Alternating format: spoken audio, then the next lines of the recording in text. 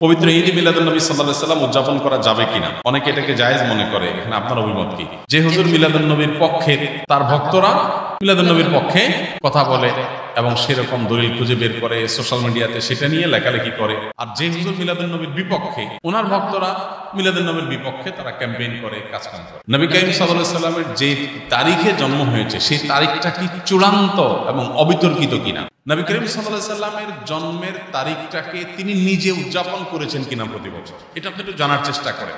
মিলাদুল নবী মানে হলো নবী সাল্লাহ সাল্লামের জন্ম আর সিরাতুল নবী মানে হলো নবী করিম সাল্লাহ সাল্লামের জীবনী। আমাদের নবী সাল্লাহ সাল্লাম বলেছেন, লা তুত্রুনি কামাতুতে নাসারাব মারিয়াম। তোমরা আমাকে নিয়ে বাড়াবাড়ি করিও না, যেভাবে খ্রিস্টানরা ঈসা আলাইহিস সালামকে নিয়ে বাড়াবাড়ি করেছে।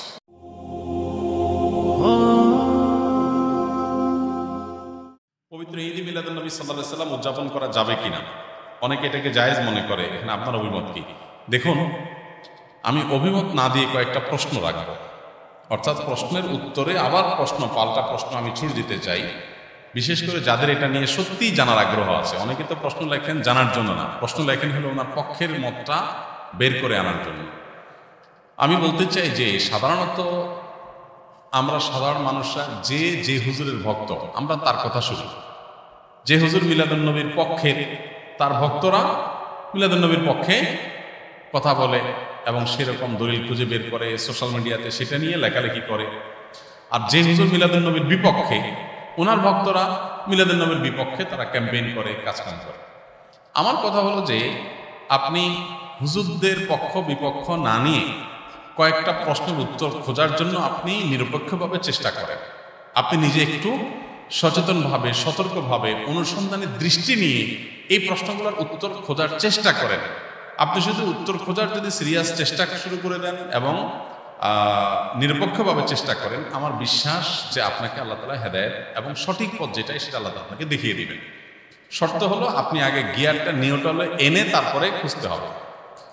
আমরা যারা গাড়ি চালাতে জানি, তারা জানি যে গিয়ার আপনার ম্যানুয়াল গিয়ার সাধারণত গাড়ি, এটা আপনার নিউট্রালে থাকার পর স্টার্ট দিলে গাড়ি স্টার্ট হবে। গিয়ার একটা দিয়ে রেখে দিয়েছেন আগে, এরপর আপনি স্টার্ট দিচ্ছেন। তাহলে গাড়ি কি হবে না? স্টার্ট হবে না, গাড়ি দৌড় দিবে লাভ দিবে।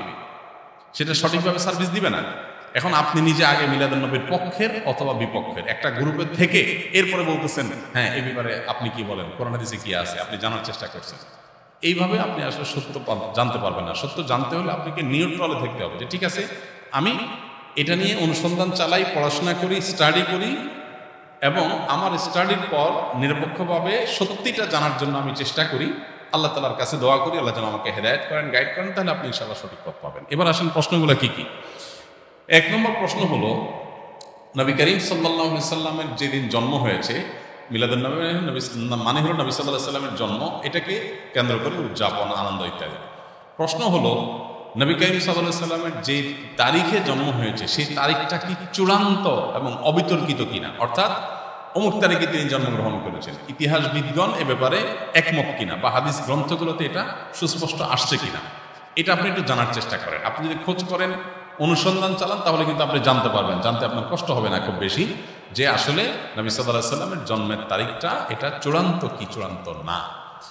আপনি যদি অনুসন্ধান করেন, আপনি দেখতে পাবেন যে নবী সাল্লাহ সাল্লামের জন্মের একজাক্ট তারিখ নিয়ে ইতিহাসবিদদের মধ্যে নানা রকমের মত আছে। তাহলে কীভাবে আপনি চূড়ান্তভাবে একটা দিনকেই নিশ্চিত করে ধরে সেদিনকে আপনি উদযাপনে যেতে পারেন? নাম্বার এক, আপনি খোঁজার চেষ্টা করেন যে ওনার জন্মের তারিখটা এটা কি সুনির্ধারিত, অবিতর্কিত, নাকি এটা নানা মত আছে? আপনি একটু পড়াশোনা করার চেষ্টা করেন। নাম্বার দুই, নবী করিম সাল্লাহ সাল্লামের জন্মের তারিখটাকে তিনি নিজে উদযাপন করেছেন কিনা প্রতি বছর। এটা আপনি একটু জানার চেষ্টা করেন।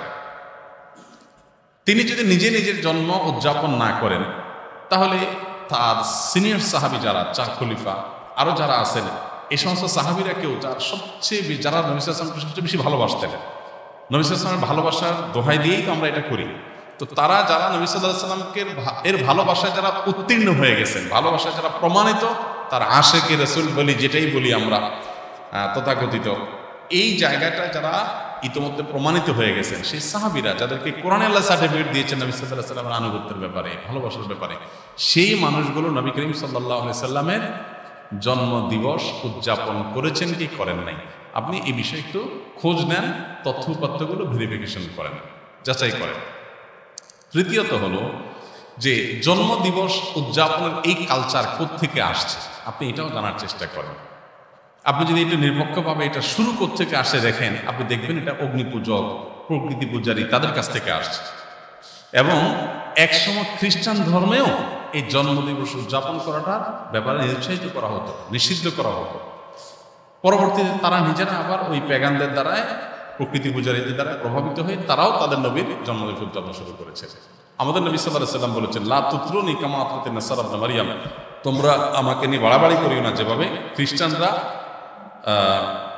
ঈসা আলাইসাল্লামকে নিয়ে বাড়াবাড়ি করেছে। অতএব নবী করিম সাল্লাহ সাল্লামের মিলাদুল নবী পালন করবেন কি করবেন না, উদযাপন করবেন কি করবেন না, সেই প্রশ্নের উত্তর আপনি পেয়ে যাবেন যদি আমার এই তিনটা প্রশ্নের উত্তর আপনি নিজে অনুসন্ধান করে জানার চেষ্টা করেন। আল্লাহ আমাকে, আপনাকে, আমাদের সবাইকে হেদায়ত এবং সত্যিকার সত্যিকারের যে সঠিক পথ, সেটা আল্লাহ আমাদের সবাইকে আল্লাহ তালা দান করুন। ঈদ মিলাদ, ঈদ মিলাদুল নবী ও সিরাতুল নবীর মধ্যে পার্থক্য কী? মিলাদুল নবী মানে হলো নবী সাল্লাহ সাল্লামের জন্ম। আর সিরাতুল নবী মানে হলো নবী করিম সাল্লাহ সাল্লামের জীবনী, জীবন চরিত তো সিরাতুল নবীর মধ্যে নবী সাল্লাহ সাল্লামের জন্ম, মৃত্যু, শৈশব, বেড়ে ওঠা, আল্লাহর আদেশের নিজের জীবনের সব বিষয়গুলো এর মধ্যে আছে। সিরাতুল মানে জীবন জীবন ইতিহাসের মধ্যে সবই আছে।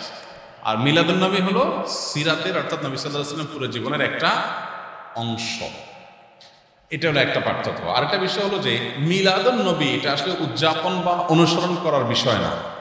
নবী সাল্লাহ ইসলামের জন্মকে আমরা চাইলে অনুসরণ করতে পারব না যে উনি যেভাবে জন্ম হয়েছে যে তারিখে হয়েছেন ওই তারিখে আমি হব। এরকম কোনো অপশন নাই কিন্তু। সিরাতুল নবী যেটা, এটা কি করা যায়? অনুসরণ করা যায়।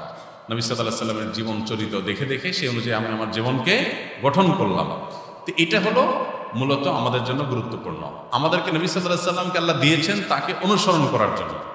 তাকে অনুসরণ করার নামগন্ধ নাই, কিন্তু তার মহব্বতের দাবি করে আমি যাচ্ছে তা করে বেড়ালাম।